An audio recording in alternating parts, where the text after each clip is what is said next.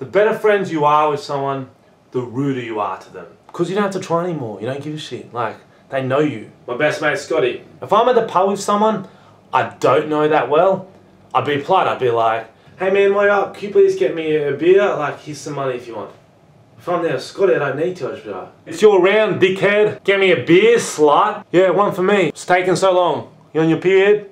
I put in practice. Me and Scotty go to the pub real soon. And if I didn't know him that well, I'd probably write something polite like, oh, hey, come round mine for some pre-drinks, then we'll go down pub. Because he's my best mate, I don't need to, I can just write, stop touching yourself and come for a beer, mudblood. And he doesn't give a shit. He knows, like, it's just a joke. He's my best mate, it's just funny to him, you know?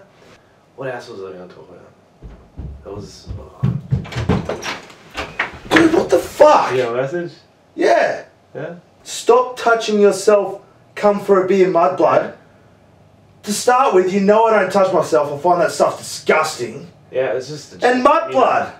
Yeah, it's just... Yeah. Mudblood. You know I'm a wizard. I'm just a... You know, you know, he doesn't care. No, that's disgusting. I think it's funny calling people names, Muggle. Nah, nah, you know... You're lucky you're my uh, best mate, otherwise I'll end you. Amadacadabra!